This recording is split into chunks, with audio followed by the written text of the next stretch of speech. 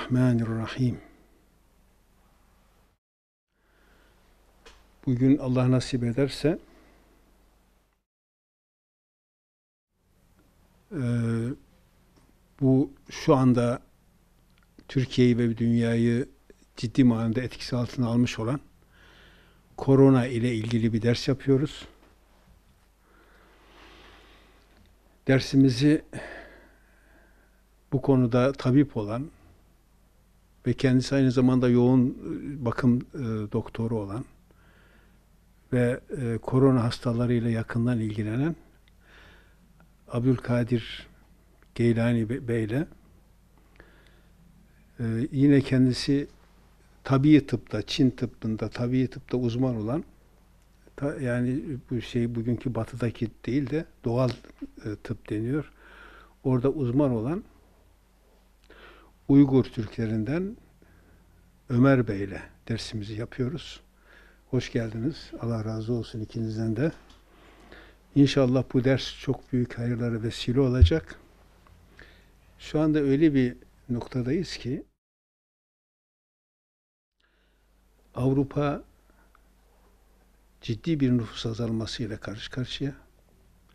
Benzer durum onlar kadar olmasa da Rusya'da da var. Ee, ve birçok birçok yerlerde var. Şimdi bu yaşlı nüfus ciddi bir ciddi bir şekilde devlete yük oluyor. Ben bir zamanlar bir sigorta şirketinin danışmanıydım.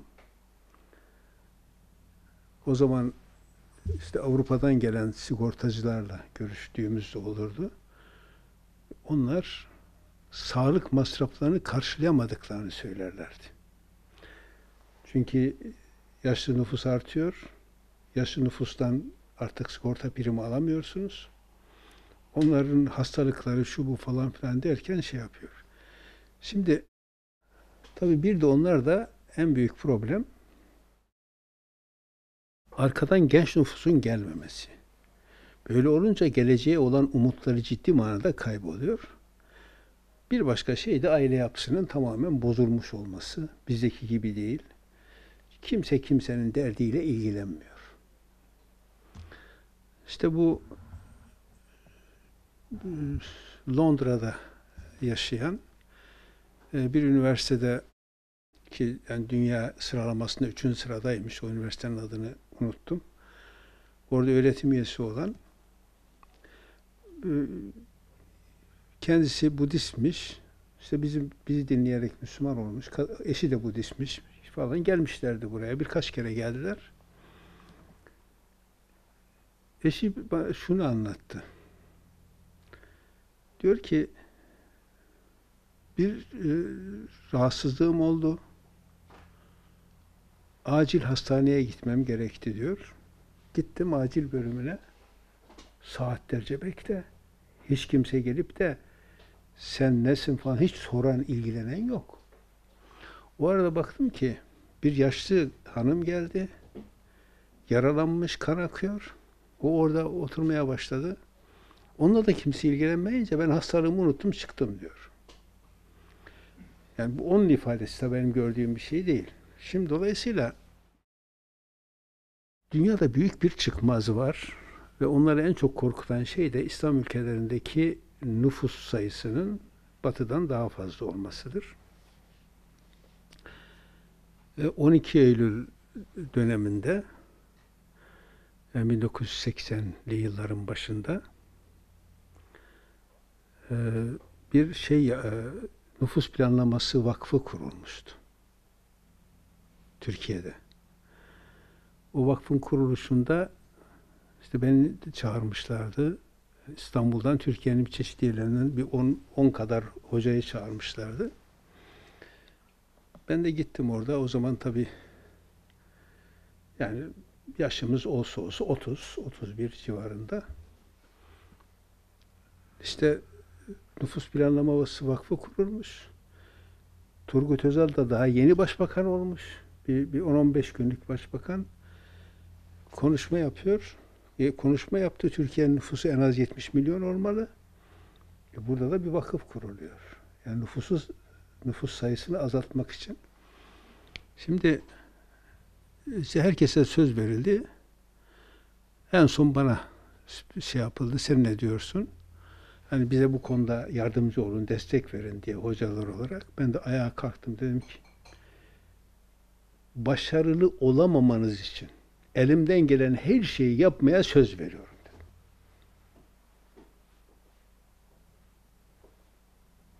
Neyse ondan sonra geldim yine Türkiye'nin büyük zenginlerden bir tanesi. Yani bu Türkiye'nin en büyük zenginlerinden birisinin başkanlığındaydı. Yolda gelirken gene bir petrol şirketinin sahibine uğradım. Bu ne oluyor dedim falan. O da bunun bir Amerikan projesi olduğunu söyledi. Şimdi bakıyorsunuz ki bu şeyde bu koronavirüs meselesi tamam doğru bir hastalık var. Hastalığın olduğunu kimse inkar etmiyor. Ama bir de e, şey var yani batıda e, şeyde de doğuda da öyle var. Siz işte bir Uygur olarak gayet iyi biliyorsunuz bunu. İslam'ın yeniden ortaya çıkması tedirginliği var ciddi manada yani. Çünkü herkes biliyor ki İslam eğer ortaya çıkarsa şey olur. Şimdi bütün bu tedirginlikler içerisinde ben bunların yani bu gayrimüslimlerin özelliklerini gösteren ayetleri okumak istiyorum. Şimdi Allahü Teala bu e, inançsız insanlar, kafirlerle ilgili şöyle diyor. Ali İmran suresi, Kur'an-ı Kerim'in 3. suresi 149. ayette şöyle diyor. Ya eyyühellezine amenu in tuti'u'llezine kafaru yeruddukum ala a'gabikum fetenqalibu khasirin. Müminler kafirlere gönüllü olarak boyun eğerseniz sizi geri döndürürler. e, Ökçeleriniz üzerinde geri döndürürler. Ve kaybedenler grubuna dönüşürsünüz. Kafirlere boyun eğerseniz. Belillahu mevlakum Hayır, sizin Mevlanız, en yakınınız, yardımcınız Allah'tır. Ve huve hayrun nasirin. O yardım edenlerin en hayırlısıdır. Senulqi fi kulubillezine keferur ru'be diyor. Ayrıca bize bir şey veriyor Allah Allahü Teala bir garanti veriyor. Diyor ki kafirlerin kalbine ru'b artacağız. Şimdi korku kelimesi iki şekilde ifade ediliyor. Bir havf Arap dilinde bir de ru'b. Havf işte normal korku ama ru'b adamın tüm içini saran ve onu çok etkileyen bir korku. Yani kafirler Müslümanların karşısında o ruba kapılıyorlar. Ne yapacaklarını şaşırıyorlar. Çok ciddi manada şey yapıyorlar. Siz bunu mutlaka defalarca yaşamışsınızdır. Niye böyle yapıyor? Bima eşreku billahi ma lem sultanen Allah'ın sağlam bir belge indirmediği bir şeyi Allah'a ortak koşuyor. Onun sözünü Allah'ın sözü gibi kabul ediyor ki bugünün dünyasına baktığımız zaman bu konuda en önde olanlar Yahudi ve Hristiyanlardır. Evet, Müslümanların içerisinde de çok çok fazlaca yaygın. Yani Allah'ın yerine kendilerini koyan çok din, din adamları çok fazla var. Ama e, bir şey olarak, büyük bir organizasyon olarak Yahudi ve Hristiyanlardır. Allah'a ortak koşmaları, Allah'ın bir belge indirmediği şeyi ortak koşmaları sebebiyle böyle yaparlar. Ve me'vahumun nar onun onların varacakları yer o ateştir. Yani sığınakları ateştir. Ne demek? Bu cehenneme de giderler, bu dünyada da içleri yanar. Ve bi'se ve bi'se mesvel zalimin bu yanlışı yapanların o, o kalacakları yer ne kadar kötüdür. Şimdi Allahü Teala bize burada konuda uyarı yapıyor. Sakın ha gönüllü olarak şeylere bunlara boş, boyun eğmeyin. Ama bazen kendimizi korumak için e, davranışlarımız meselesi olabilir. Mesela siz işte Çin'de, işte Avrupa'da yaşayan ya da başka yerlerde yaşayan insanlar orada bir şekilde kendinizi koruma ihtiyacı olursanız Allahü Teala içten değil de bir takım şeyler e, veriyor yani e, müsaade de veriyor.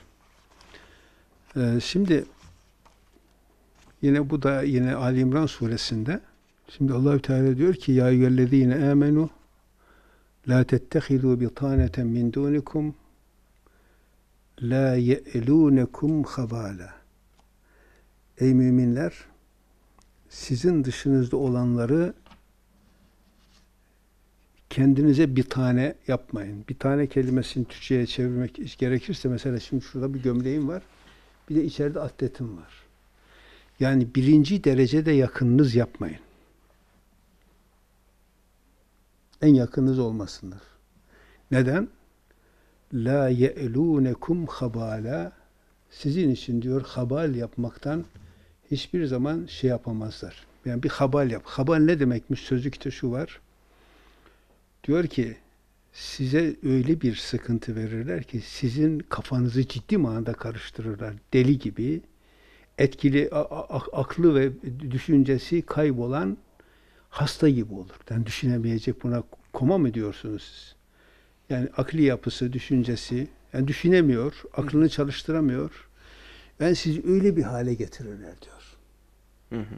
Yani elle şey yapmazlar. Sizin kafanızı, kafanızı karıştırmak için, düşünememeniz için ellerinden ne geliyorsa yaparlar diyor. Peki, diyor ki وَدُّ مَا عَنِتُّمْ Sizi sıkıntıya sokacak ne varsa onu çok isterler. قَدْ بَدَتِ الْبَعْضَاءُ مِنْ اَفْوَاهِهِمْ Yani size olan kin ve nefretleri ağızlarından anlaşılır. İşte dikkat etseniz konuşmalarından görürsünüz. Ve ma tuhfi suduruhum ekbar. Ama içlerinde sakladıkları düşmanlar düşmanlık daha büyüktür. Ağızlarından tam anlayamazsınız ama bir de bazıları çok samimi dost olarak gelir bize. Ondan sonra diyor ki kad beyyenna lekumul ayati in kuntum. Eğer aklınızı kullanırsanız diyor Allah, onların özelliklerini size açık bir şekilde belirttik diyor. Ha entum ulai tuhibbunehum ve la. Siz onları seviyorsunuz ama onlar sizi asla sevmezler. Siz öyle insanlarsınız ki seviyorsunuz. Avrupalıyı seviyor, Amerikalıyı seviyor, Çinliyi seviyor, şurayı burayı. Ama onlar sizi sevmezler diyor. Dikkatli olun demiş oluyor Allahü Teala. Ve tu'minune bil kitabi kulli siz bütün kitaplara inanırsınız. Mesela onlar şeye inanmazlar. Kur'an-ı Kerim'e inanmaz. Aslında kendi kitaplarına da inanmazlar. Yani ne Yahudi e, e, işte, Tevrat'ı uygular, ne Hristiyan Tevrat ve İncil'i uygular. Mümkün değil yani. Şimdi e, buraya eskiden çok papaz heyetleri gelirdi. Onlara sorduk Tevrat ve İncil sizin için ne ifade eder? Sadece şey, e, kutsal kitaptır. Saygı duyarız, ibadet yaparız o kadar. Bizim için esas olan konsil kararlarıdır. O şekilde şey yapmışlar. Dolayısıyla yani tamamen zaten Yahudiler için de esas olan hiçbir zaman Tevrat değildir. Yani o e, işte bir yazılı Tevrat derler, bir de sözlü Tevrat derler. O sözlü Tevrat kendilerinin oluşturduğu şeydir. Evet.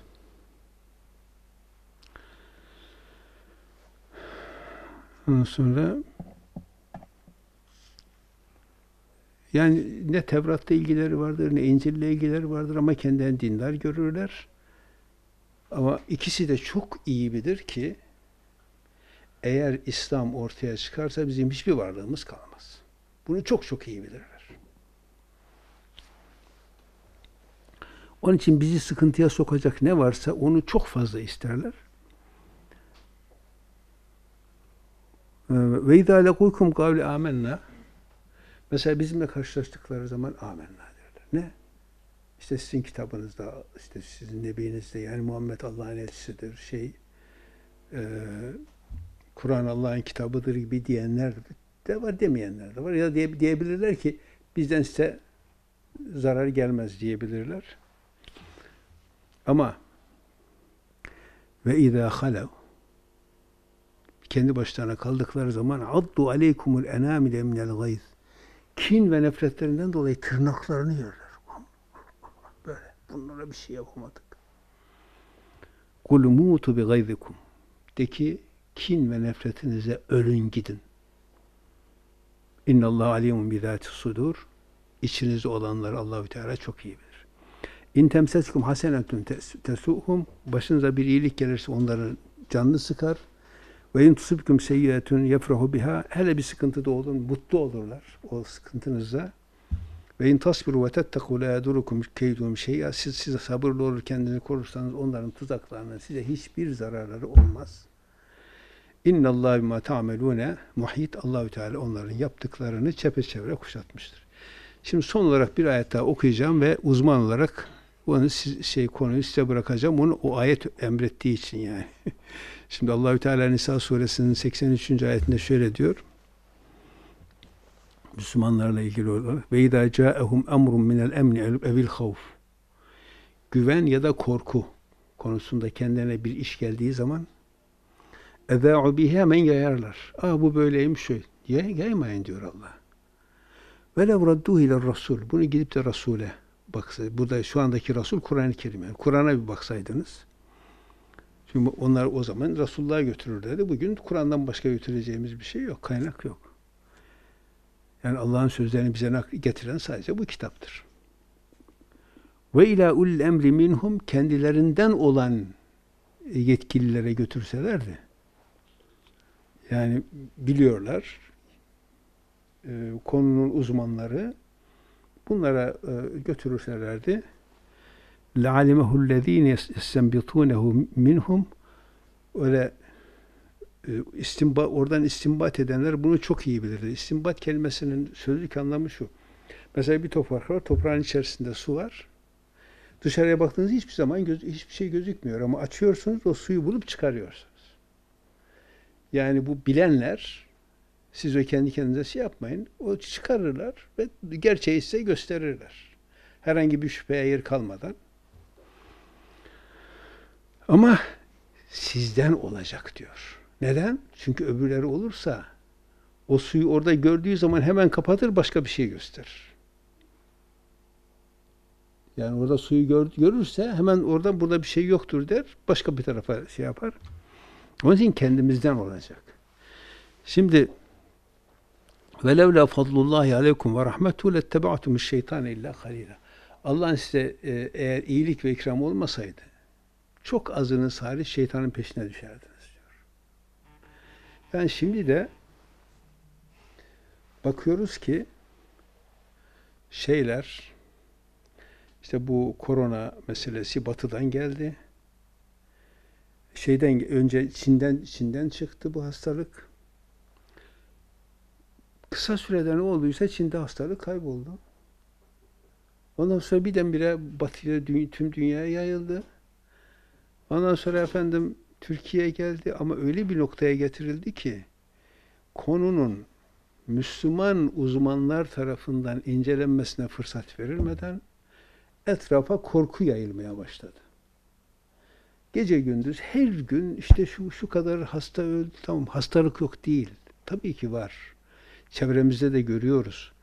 Ama böyle bu kadar insanları ev, eve hapsetmek, insanların ağızlarını kapatmak, ondan sonra ne bileyim bu kadar şey yapmak gerçekten son derece sıkıntılı bir şey. Mesela en başta tabii tıpta uzman olan Ömer Bey'e sorayım. Mesela siz e, yıllardır bu işte uğraşıyorsunuz. Evet hocam. Tıpla uğraşıyorsunuz. Mesela siz herhangi bir hastanıza ya da hasta yakınına şimdiye kadar maske kullanmayı tavsiye ettiniz mi? Yok bizim geleneksel tipte bu maske bir şey buyurmuyoruz yani. Yani maske diye bir şey yok. Yok. Tamam. O zaman aynı şeyi e, Abdülkadir Geylani Bey'e bir sorayım. Mesela sen de bu korona hastalarıyla bugün de hala yakından ilgilen. Ben bizzat kendim gözümle gördüm Evet. hastalarla nasıl ilgilendiğini. Sen mesela e, geldin hastanın ağzındaki şeyi hemen çıkarttırdın. Mesela işte e, benim gelin hastalanmıştı biliyorsun. Ne Evet. yapmıştın orada? Sen gelmiştin. Ee, işte hocam zaten e, bu işi konuşmamızın nedenlerinden bir tanesi de o. Dediğiniz gibi sizin e, gelininizde de yaşadığımız e, genel halkta yaşadığımızın aynısı aslında. E, korkudan öyle bir e, sık boğaz edilmiş bir ortamdayız ki insanlar açısından. Bu korku herkesi e, işte birbirinden izole etmek, birbirinden uzaklaştırmak, sonra normal hayatlarını tamamen ortadan kaldırıp sanki normal e, dışında bir hayat yaşayınca bunlar düzelecekmiş gibi bir imaj çizmek. Bunların tamamı aslında doğru olmayan e, yaklaşımlar. Mesela işte gelininiz de e, içeride odaya kapatmış, kilitlemiş kadıncağız kendini. Üstüne bir gün önce bir ameliyat geçirmiş bir sezaryen operasyonu. Sen zaten doğum yapmıştın bir Evet doğum önce. yapmıştı. Tabii. Evet. Ve doğumda e, doğumla ilgili bir gecikme yaşamış. İşte korona olması nedeniyle ya da testin pozitif olması nedeniyle test şeyi doğumu almak istememişler. Sonra doğum sonrasında çocuğunu emzirme diye geri bildirim vermişler. Ondan sonra kadıncağız doğumunu yapmış hasta haliyle gitmiş odanın bir tanesinde köşede odaya çekilmiş. Ağzına iki tane çift maske takmış. Solunumla ilgili zaten astım problemi var kadıncağızın. İçeride üstüne bir de yorgan e, kapatmış. Kapıyı da üstüne e, kapatıp içeride yani normal bir insanın e, bir 3-4 saat içerisinde sağlığının bozulacağı bir ortamda ciddi anlamda sıkıntı çekerken gördüğümde dedik ki iyi ki de geldik bu kadıncağız yarını bulamazdı bu haliyle. Şükürler olsun geldik ağzını açtık nefesini rahat almasını anlattık Maskesini durumu. açtırdın. Maskesini açtık. Ondan sonra dedim sakin ol. Bu dedim bir soğuk algınlığı etkenidir. Sadece pompalanan bu e, korkuların esiri olma. Sonuçta bu iş e, bizim uzmanlık alanımız. Rahat edeceksin. Ek komplikasyonlar olmadan bunlarla ilgili o ölüm oranları sizin için de geçerli değil zaten. Bu korkunun başka gerekçeleri var tabii ki ama e, sizin açınızdan böyle bir problem yok şükürler olsun. Siz bununla ilgili sakin olun ve bu normal tedavi protokolümüzü kullanalım. Zaten iyileşeceksiniz ve şükürler olsun zaten bir haftanın sonunda kısa da sürede çok çok aynen çok kısa sürede de toparladı. E, çocuğuyla arasındaki bağlantı mesela çocuğu emzirme demişler. Ya yeni doğan çocuğun anne sütüyle emzirilmemesinden daha büyük bir hata olabilir mi?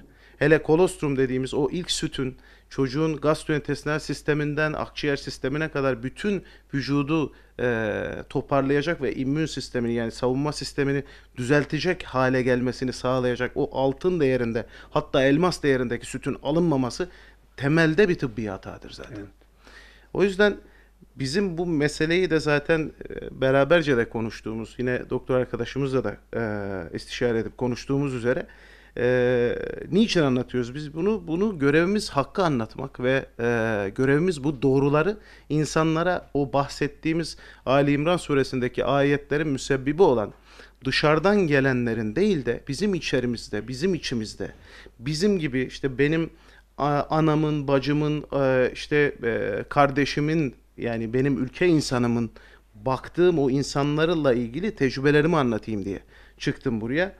Bir de bununla ilgili bilimsel verileri paylaşayım diye. Sen şimdi istersen bir daha söyle. Şu anda hala koronalı hastalar tedavi Evet hala ediyorsun. 3 hastanede günlük ortalama 50 ila 100 arası hasta bakıyorum. Ee, korona hastaların hatta evine de gidiyorum. Ee, çünkü bazıları çok gariban, kalkıp gelemiyor, hastaneye başvuramayacak durumda düşkün hastalar var. Onların evlerine de gidiyorum. Ekstra bir ücret talep etmiyorum. Onlar benim vatandaşım, insan yani insan olarak bunları yapmak zorundayız. Ee, Bir en de ben azından bir de senin şunu yaptığını gördüm. Yani bu ağzında hiç maske olmadığı halde o hastalara sarıldığını gördüm ben. E çünkü onu yaptığınız zaman e, hasta kendi o korkusundan uzaklaşınca e, normal iyileşme süresi mesela bir hafta 10 gün eğer sürecekse 3 gün içerisinde hastanın ayağa kalktığını görüyorsunuz. Çünkü paniği ortadan kalkıyor. Ya ben istiyorum ki hastanın o paniğini ortadan kaldıralım. Ondan sonra zaten normal iyileşme sürecine giriyor hastalar. Ama insanların algılatmaya çalıştığı şey işte doktor da onunla ilgilenmesin. Hasta sağlık personeli de ondan uzak dursun. İşte ailesi de ondan uzak dursun. Ya öyle teyzeler var ki e, yemek yiyemiyor kendi başına ama ailesinin yanına girip ona yemek vermediği ve kadının iki gün üç gün açlıktan e, ağzında nefesinin açlık koktuğunu gördüğüm hastalarım oldu. Ya bunların evine ben boşuna gidiyor değilim çünkü e, baktım açlıktan ölecek hastalar. Bak mesela istersen şunu da söyleyeyim. Mesela gelinimin doğum günü gelmiş. E, hastaneler kabul etmiyor. Oğlum bana söyleyince hemen e, bir hastanenin başhekimine telefon açtım. Hay hay hemen gelsinler dedi. Gitti. Herhalde başhekim bey o anda orada olmadı mı ne oldu? Telefon etti orada görevlendirme yaptı. Fakat onların tavırları bunlar öyle bir rahatsız etmiş ki orada kalamadılar. İşte hocam söylediğiniz gibi yani normal doktor tavrından çok daha ayrı bir şey oldu. Şimdi varsayalım Türkiye'de Allah korusun herhangi bir yerde ya da dünyanın herhangi bir yerinde daha öldürücü bir hastalık yaygın olarak çıktı. Bu işte görevi olanlar biziz. Yani ben doktor olarak buna şeref namus yemini ederek başlayan bir adamım. Yani benim işim ölüm dahi olsa karşısında o insana sağlık hizmeti vermek ve sağlığına geri döndürmeye çalışmak. Bu hayatın bağısına da olsa böyledir. Çünkü bunun için hem şeref namus yemin ediyorum hem de yaşam biçimimi buna göre düzenliyorum. E şimdi çizilen e, yapı e, herkes hastadan kaçıyor. Kimse hastayı göğüslemiyor, kimse hastayı karşılamıyor, kimse hastayı beslemiyor, kimse hastaya tedavi vermiyor. E ne yapacağız peki? Yani bu bu insanlar kimden medet umacak? E, tabii ki benden umacak. Tabii ki benim gibi doktor meslektaşlarımdan umacak. Onları yalnız bırakmak ne demek oluyor? Böyle bir doktorluk yok. Böyle bir doktorluk olamaz. Ve sistemi mutlaka bu hale dönüştürmek e, hocamın da okuduğu ayetlerde olduğu gibi bunlar Türkiye'deki doktor arkadaşımın, meslektaşımın karakteri olamaz. Bu çok yanlış. Ve bu onların dikte ettiği, bize yanlış öğretilerle yaptığı korkudan hali başımıza gelen bir hal. Ben korkmuyorum. Korkmayacağım da. Ben ölümden de korkmayacağım. Çünkü ben elhamdülillah Müslüman olarak bununla ilgili Kur'an-ı Kerim okumuş bir birey olarak benim Allah'tan başkasından çekinme ya da korkma şansım olmayan bir bireyim. Ne diyeceğim ben? Ya, ya ben öleceğim. E ölmeyecek miyim zaten? Zaten ölmüyor mu insanlar? E hocam doktorlar da ölüyor. Evet, doktorların ölümsüz olduğunu kim söyledi size? Doktorlar da ölümlüdür. Ama problemimiz şu. Maske ile ilgili mevzudan başlayalım. Mesela e, gelininizin de başına gelen ya da diğer hastalarımın da üç tane maske takmışlar. Odada zaten solunum zorluğu olan bir kadıncağız. E, geçen gün gittiğim evine işte yaşlıca bir teyzemiz işte 75 yaşlarında. E, işte evi odaya kimse girmiyor. Yemek yememiş kadın o anlattığım 3 gündür yemek yemeyen kadıncağız o. E kadının şekeri var, tansiyonu var, başka ekstra hastalıkları var. E, çocukları kapıdan girip yemek bile vermiyorlar. Şimdi şöyle bir ortam düşünün. Bu kadının iyileşme şansı olabilir mi? Normal zaman. Mümkün mü böyle bir şey? Gittik işte saat akşam 9-10 gibi falan ancak evine e, işte benim işler bittikten sonra hastanelerde. E, kadının yemek konusuyla ilgili ilgilendik. Hastaları, çocuklarına anlattığım durumu, onunla ilgili beslenme yapılması gerektiğini, yapılacak tedavi protokolünün bu olduğunu, onlarla ilgili ilaçların şöyle şöyle işte durumlarla kullanılacağını. Sonra e, yemek yemesi gerektiğini, bu yemeğin mutlaka bu kadının beslenmesinin bozulmaması gerektiğini, işte vitaminlerin buna faydalı olduğunu, iyileşmeyi hızlandırdığını, bunların hepsini gösterdiğinizde hastalı, hasta ve yakınları sizin de oraya hani anneyi bir şekilde telkin etmek için ya da teskin etmek için gidip orada sırtını okşamanız, işte ona sarılmanız, sakin ol, bir şey olmayacak, korkma demeniz. E herkes bir anda ya hocam böyle miydi yani biz rahatlayalım. E tabi rahatlayın nedir yani? Ne olacak yani soğuk algınlığından evet biz gripten ve soğuk algınlığından her sene ölüyoruz. Bununla ilgili onlarca oran var elimizde.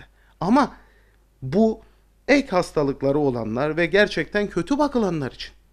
E diğerleri bakılıyor. Güzel bakılanlar da var. Gereksiz yere medikasyon yapılmıyor. Abuk subuk işler yapılmıyor. insanlara korku pompalanmıyorsa bunlar daha rahat iyileşiyor. Ama siz kalkıp her şeyi koronaya bağlarsanız, bütün her şey koronadır, geri kalan hastalıkların tamamı tatile çıktı derseniz, e o zaman insanlar bütün ölümleri koronaya bağlayacak.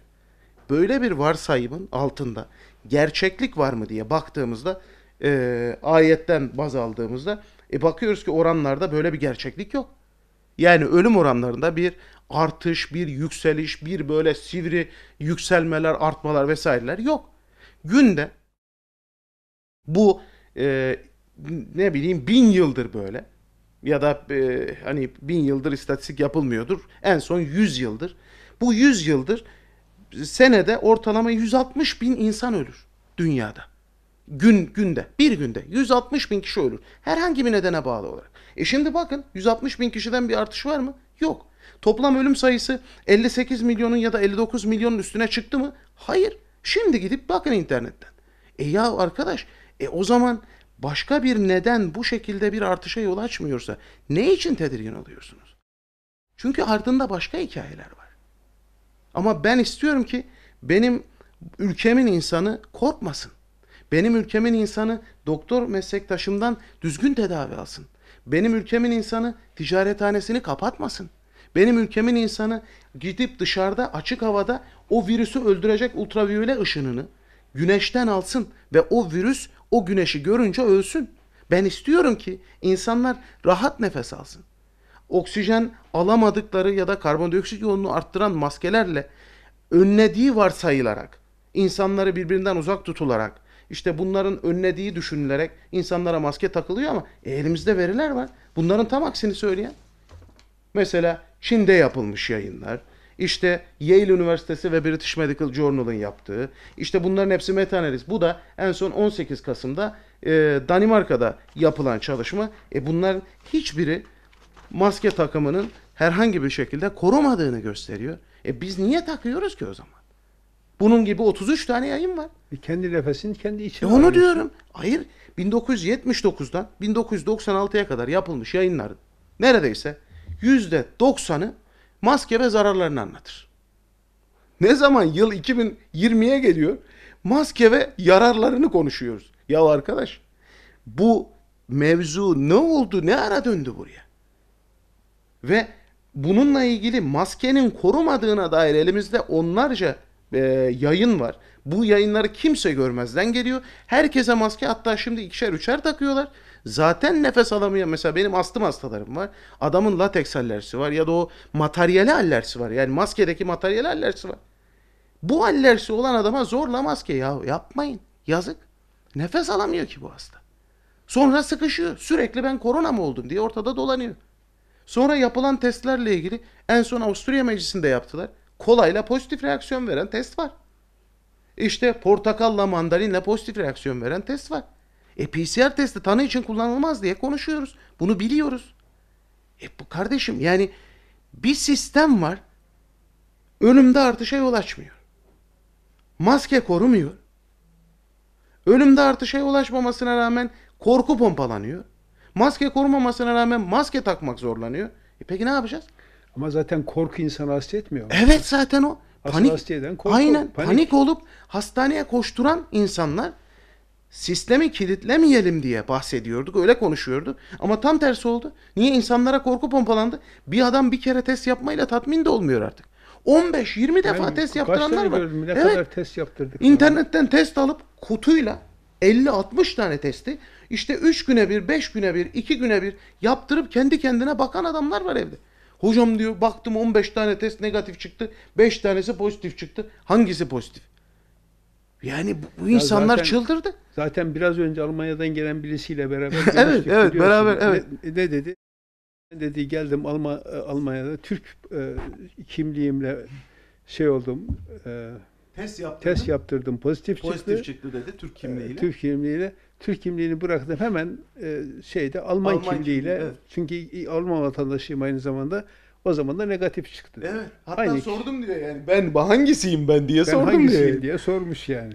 Yani bunu hani bizim oyunu bozmamız lazım. Niye oyunu bozmamız lazım?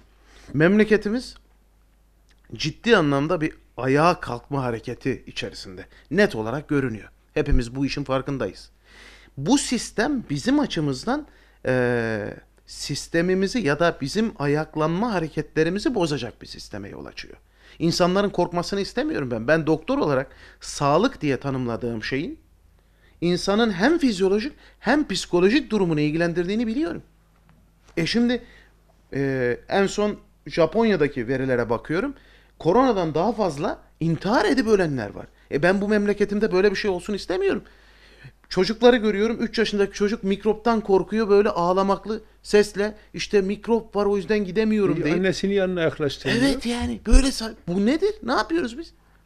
Bu sağlık mı? Bu sağlık falan değil. Onun için biz burada şunu yapmamız lazım. Şimdi Allahü Teala ne dedi? Bu kafirlerin bize kötülük yapmaktan asla geri durmayacaklarını söylüyor. Bakın dikkat ediyor musunuz? Şimdi İşte Türkiye birazcık başarı elde etmeye başladı. İşte A- Azerbaycan'da, e, Su- Suriye'de biraz başarı. Şeyde zaten medyayı kullanarak o başarıyı kapatmaya çalışıyorlar. O ayrı bir konu. İşte Libya'da şurada burada bu onları inanılmaz derecede rahatsız ediyor Batılıları. Hele en fazla şey Yahudi ve Hristiyanları şey yapıyor, inanılmaz derecede rahatsız ediyor. E bunlar da kurmuş oldukları yani bir takım güç odaklarıyla e, şey uluslararası bir etkileri de var. Ve İslam ülkelerinde kendilerinin e, destekçisi olan bir sürü yöneticiler de var. Dışarıdan siz Müslüman gibi gözük görüyorsunuz ama değil. E, yani bakıyorsunuz yani bu konularda çok dikkat etmek lazım. Yani bizim uzman olan kişiler şey yapması lazım. Yine biraz önce o Almanya'dan gelen kişiyle görüştüğümüz zaman ne demişti? Bir ölen kişi eğer koronadan öldü deniyorsa Evet. ne ödüyorlardı? 30 bin avro. Ben 30 15 5000'i bin duymuştum da benim de başıma öyle bir e, durum geldi. Hastamın birinin birebir anlattığı hikayedir. E, Kalp krizinden kaybettikleri hastayı korona diye yazalım diye 15 bin e, avro teklif etmişti. Onlar da demiş ki tamam yazın yani yani e, nasıl olsa öldü gitti yani hani ister koronadan ölsün ister kalpten. O, o gitti bari 15 bin Evet bari gelsin. 15 bin avro gelsin 30 diye. dedi. Buna da 30 bin e, tek, teklif etmişler. 30 bin avro vermişler ki koronadan öldüğünü kabul etsin diye. Yani burada şem- şimdi şöyle bir şey var yani bizim e, İslam alemindeki bu gelişmeleri engellemek için bu şeyler oluyor. Bir de şu var. Biz İslam diniyle ilgili olarak biliyoruz. E, bu e, bakıyorsunuz ki batıya gidiyor, doktora yapıyor, geliyor. Aslında yaptığı doktorada bir şey yok. Burada işte do- doktor, doçent, profesör oluyor. Ne Kur'an biliyor, ne hadis biliyor, ne fıkıh biliyor, hiçbir şey bilmiyor. Ve onların sözcülüğünü yaparak Müslümanların kafasını karıştırıyorlar. E, bakıyoruz ki geleneksel İslam da zaten Kur'ansız ve e, Resulullah'ın uygulamaları sanki varmış gibi gösteriliyor ama yok. Şimdi buradan acaba batıdan öğrenilen tıp ne derece gerçekten tıp? Yani doğal, doğallık açısından.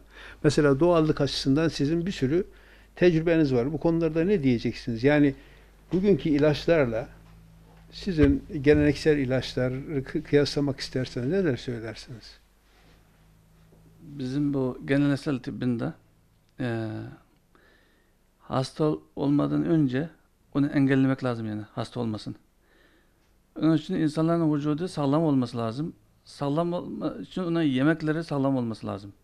Şimdi hep yemeklerinin o tohumların hepsi o yani yine değiştirilmiş yemeklerini yiyoruz. Kimyasal katıyor. Buğdayın genetiği değiştirilmiş. Evet. Et yiyoruz, etin tadı et gibi değil yani şimdi. Onun hepsi kimyasal bir şey yiyor. Onu yediğisi insanların vücudunda kanser yapıyor. Şimdi tavuklar beyaz pamuk gibi yani. Bu şeyini yiyor, hep insanların vücudunda kanını bozuyor. Vücutta yani immün sistemi düşük yani zayıf. Öyle olduğu için hızlı hastalanıyor insanlar. Bunun için yemeklerini sağlamlaştırmamız lazım yani. Ya problem çok büyük Çok yani. büyük. Yani böyle korona falan değil yani. Ee, sadece. kendi yerli tohumlarımızı çok öğretmemiz lazım, yetiştirmemiz lazım. E, yemeklerimiz sağlam olsa vücudumuz sağlam oluyor. Kişisel bizden virüsler hiçbir şey yapamaz yani. Vücut zayıf, düşük olsa o her insanın şimdi yaşlı insanlar yüzde bir persen ölüyor ya. Yaşlı, yaşlı insanların vücudu zayıf olduğu için e, virüs hızlı bulaşıyor. Şimdi 100 insan etkilense 100 insanların ayrı ayrı oluyor yani. Bazı insanlar bir grip gibi geçiriyor bir şey olmaz yani. Bazı insanlar nefes oluyor, hızlı hastaneye gidiyor öyle. Onun için bizim eee o şeye de çok uğraşmamız lazım yani. Peki bu sizin verdiğiniz ilaçlar var. Aha. Bir de e, ha- şeyden alınan ilaçlar var. Eczanelerden olan tıbbın verdiği ilaçlar var. Şimdi e, mesela şöyle bir şey söylüyor bazı doktorlar. İlaçlar işte iki ucu sivri bıçak gibidir falan diye. Keskin kılıç evet. İki keskin kılıç kılıç gibidir. E ama siz, sizde öyle mi? Sizin verdiğiniz ilaçların zarar, zararlı olma durumu var mı? Eee, zarar yok inşallah. O bizim ilaçlarımız Yani yaptığın vücudunu tecrübelerinize göre. evet bizim ilaçlarımız vücudunu güçlendiriyor. O iltihaplarını bitiriyor. Yani iki etkisi var. Hı hı. Vücudunu güçlendirme o e, şimdi başka o hastaneler verdiği ilacın o vücudunu zayıflatıyor yani. Virüsünü virüs karşı ila, hep ya o yiyecek ilaç hapları. O şeyler yani mesela, hastalar iyileşir. İyileştikten sonra vücut güçsüz. Aylar sürüyor. Yani bir tarafı iyileştirirken öbür tarafı Evet hasta. tahrip ediyor. Evet. Bu konuda siz ne diyeceksiniz? Ee, Doktor Ömer arkadaşımın söylediği aslında doğru. Bununla ilgili ben hatta e, kullanılan ilacın bir tanesinin prospektüsünü getirdim. Aviga'nın. Bu favipiravir e, içerik maddesi. Ee, aynen böyle tedavi protokolleriyle beraber aynı zamanda yan etki protokolleri de böyle listeler halinde yazılır. İşte ve denir ki şu şu şu şu yan etkiler şu şu bölgede işte yok böbrekte yok kalpte yok işte e, beyinde farklı farklı etkileri var. Kan hücrelerini düşürür. İşte şu bölgede e, ne denir akciğerlerde enfeksiyonu engellemek için kullanılan ilacın pnömoni gibi bir yan etkisi var mesela. Evet. Hani şimdi ilaçtan mı pnömoni oldu, enfeksiyondan mı pnömoni oldu? Yoksa böbrek yetmezliği hastada var mıydı, ilaç mı yaptı? Pnömoni ne demek? Pnömonik akciğer iltihaplanması demek. Yani şimdi hastalar akciğerlere inmesin diye ilaç kullanıyor ama akciğerlere inmesin diye kullanılan ilacın bir akciğerlerle ilgili enfeksiyon yapma e, yan etkisi var. Şimdi o yüzden sistem tedavi protokolleri farklı şekillerde dizayn edildi. Şimdi mesela bizim Sağlık Bakanlığı'nın da bununla ilgili verileri var. İşte ülkemizde de yapılmış çalışmalar var. Yurt dışında da yine yapılmış çalışmalar var.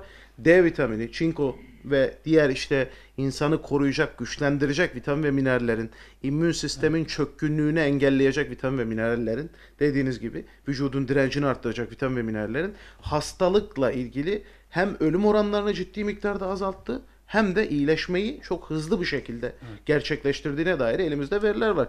O yüzden sentetik ürünlerle tedavi olmak yerine hiç bulaştırmadan ya da hiç hastada semptom çıkmadan onları güçlendirmek çok daha makul bir şeydir. Yani önleyici tıp bizde de çok önemlidir ama belirli bir süreden sonra artık sanki ilaç firmaları böyle hayır kurumlarıymış gibi algılanmaya başlandı. Halbuki ilaç firmaları hayır kurumları değildirler.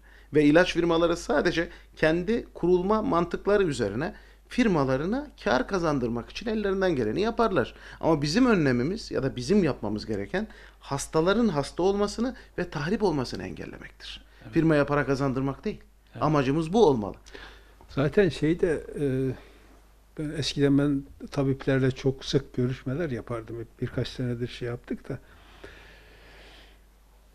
Mesela kendi adına da bir hastane yapılmış olan bir rahmetli tabip vardı. Asaf Ataseven. Allah rahmet eylesin. Onun söylediği bir sözü hiç unutmuyorum. Şöyle demişti. Vücudu tedavi eden vücudun kendisidir demişti. İlaçlar sadece onun tedavisine yardımcı olur. Bir de şunu söylemişti. Her bir vücudun bir vücutta bir hastalığın seyri farklıdır. Evet. Yani aynı hastalık iki ayrı hastada aynı olmaz. Aynen o cümle zaten standart. Hastalık yoktur, hasta vardır. Hasta var. Evet, her zaman Bu, böyledir. bu cümleyi de Evet. kullandı evet. Herkese özeldir bu. Bu bu eğitimle yetişiriz. Yani biz tıp fakültesinde bu bahsettiğimiz cümleyi baz alarak yetiştiriliriz. Yani hastalık yoktur, hasta vardır. Her hastanın kendi özellikleri, kendi durumu, kendine özel şartları vardır ki buna göre tedavi edilmesi gerekir. O zaman aynı ilacı iki ayrı iki, iki hastaya mesela birisine faydalı olan diğerine olmayabilir. Olmayabilir. Hatta bunlarla ilgili ek hastalıklara baktığımızda mesela hastanın böbrek yetmezliği olması, kalp yetmezliği bulunması, hastanın ek hastalıklarının bulunması o hastalık için kullanılan ilacın bile dozunu değiştirir. Çünkü öyledir. Evinize gidin. Herhangi bir ilaca bakın. Ee, Hepimizin bir sağlık e, birimi vardır böyle evde. İşte e, küçük bir e, ilaçları koyduğumuz e, ecza dolabımız vardır. O ecza dolabından herhangi bir ilacı, vitaminler dahil 16 tane birden almaya kalkın. Ne olur? E, mutlaka onun sizde bir sürü yan etkisi mutlaka görülecektir. Ama kişisel olarak herkese özgü tedavinin mutlaka bireysel hale getirilmesi lazım. İşte e, Abdülaziz Bey'e farklı bir tedavi protokolü, işte Ömer Bey'e farklı bir tedavi protokolü. Niye? İkisinin şartları da farklı. Vücut yapısı var. Vücut yapısı farklı. ve bununla ilgili başka işte yaş farklı, başka etkenler var. Bunları mutlaka dikkate almak Zaten zorundayız. Allahü Teala'nın El Bari ismi vardır. El Bari demek yarattığı her şeyi farklı yaratan demektir. Mesela şimdi sizin saçınız da Ömer Bey'in saçının aynı olması imkansızdır. Öyle değil mi? Evet hocam. Hatta yeryüzünde aynı saça sahip ikinci iki insan yoktur. Hatta tarih boyunca gitsin, geçmişe de gitseniz öyledir. Yaprakları bile öyle. Evet. Allahü Teala her insanı farklı yarattığı için her insanın vücudunun yapısı, şusu busu tedavisinde de farklılıklar var yani. Dolayısıyla bu, tamam bunu böylece dikkate al- alıyoruz ama bir de işin içerisine belli ilaçlar girip de Evet. onlar da şeyle biraz maddi şeylerle insanlara geldiği zaman hakikaten insanlar doğrularla menfaatleri arasında tercih e, ederler. Menfaatlerini tercih edenler doğruları yapamazlar. Doğruları tercih edenlerden de menfaat sahipleri hiç hoşlanmaz. Evet. Dolayısıyla siz do- doğrulardan yanaysanız herkes sizin düşmanınız olur.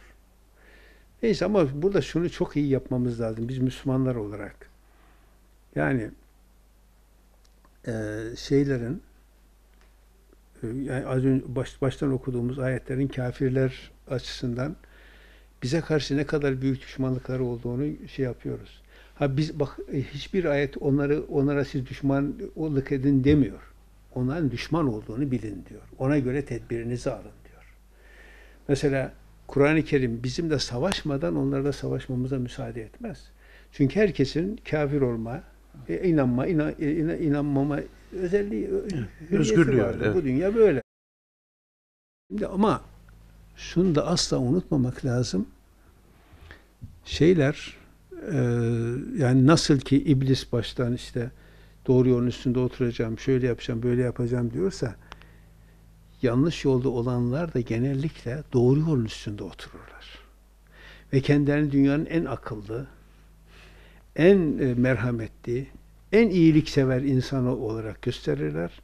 Aslında asla da öyle değillerdir. Onun için mesela bak bir ayet-i kerimede Allahü Teala ne diyor?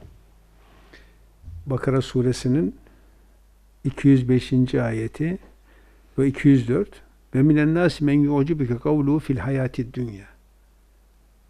İnsanlar içerisinde konuşması, dünya dünya hayatı ile ilgili konuşması seni hayran bırakır. Aa, mesela gidelim tıp. Ya adam bir uzman ya maşallah. Ne kadar iyi biliyor. Ve yüşhidullah ala ma fi kalbihi kendi içinde olana da Allah'a şahit. Allah şahit ki ben burada son derece samimiyim. Asla bir uydurmam falan yok der. Ama ne diyor Allah? Ve huve eleddül hısam. Ama o düşmanlıkta en yaman olandır. En büyük düşman odur yani. Ve idâ tevella eğer bir işin başına geçer ya da sen, bu senin yanından ayrılır iki manada olabilir. Şey yaparsa se'a fil ardi yufside fiha yeryüzünde fesat çıkarmak için uğraşır. Fesat yani bu- bozmak istiyor her şeyi. Ve yuhlikel harfe ve nesl e, nesli ve ekinleri bozmaya çalışır. Sizin söylediğiniz bu. İşte şeylerin, gıdaların şeyleriyle oynama falan var. Evet. Onların için vallahu la yuhibbul fesat. Fesadı Allah sevmez. Ve izâ gîle lehu tekille. Allah'tan kork derseniz ehadatul izzetu bil isim. Yaptığı o günahla övünmeye başlar. Ya ne diyorsun? Bunlar çok faydalı. Şöyle şöyle yaptık derler. Bugün aynı değil mi? Evet. Hasbuhu cehennem. Onun e, şeyi cehennemdir. Hakkından gelecek olan le- lebi'sel mihat. Ne kadar kötü bir e, kal- kalma yeridir orası. Onun için bugün e, şunu da söylemek istiyorum. Yani dersin başında dedik. Müslümanlarda belli bir gelişmeler oldu. E tamam şimdi e, şöyle şöyle oluyor ama bakıyorsunuz ki mesela Türkiye'nin bir, bir başarısı birçok kimseyi şey yapıyor. İşte e, Amerika'nın ne yaptığını görüyoruz. Avrupa'dakilerin ne yaptıklarını görüyoruz. Birçok ülkede neler olduğunu görüyoruz yani. E bunlar hiçbir zaman boş durmuyorlar. Sadece bugün değil ki eskiden beri öyleydi. Ama şimdi sadece ortaya çıkmaya başladı. Dolayısıyla bizim bu konularda da her konuda da kendimiz e, şey yapmamız lazım. Evet. Evet. Başka söyleyecekleriniz var mı sizin Ben söyleyeceğiniz? Tevbe suresi 34'ü de okumak istiyorum. Tamam. Estağfirullah. Ey inanıp güvenenler! Bilginlerin ve din adamlarının birçoğu insanların mallarını haksız yolla yer ve onları Allah'ın yolundan engellerler. Altını ve gümüşü kasalarda saklayıp da Allah yolunda harcamayanları acıklı bir azap ile müjdele. Allah bize bu tarz bir uyarıyı her e, dinlediğimiz insanı da ahbar da olsa, ruhban da olsa mutlaka ama mutlaka Kur'an filtresine sokup o şekilde değerlendirmeyi Ahbar, nasip etsin. ruhbar bırak. En en e, şey yaptığınız bakın Allahü Teala Muhammed Aleyhisselam için bile bunu söylüyor. Gerçi o asla dünyalık peşinde asla olmaz da mesela şeyde diyor ki bu o, 60. sure Kur'an-ı Kerim'in 60. surenin 12. ay Mümtehine suresinin 12. ayetinde şöyle diyor. Bu Mekke'den göç edip gelmiş olan hanımlar var. Onlarla Resulullah sözleşme yapıyor. O sözleşmede şöyle bir şey var. Kadınlarla ilgili olarak vela yasineke fi maruf. Bu kadınlar marufta sana isyan etmeyecek. Dedi bak Resul, Nebiye isyan, Resul'e değil, Resul Allah'ın ayetini Evet. okur, orada isyan olmaz. Bak Nebi, ey Nebi diye başlıyor. Marufta ne demek? Kur'an'a uygun konularda sana isyan etmeyecekler.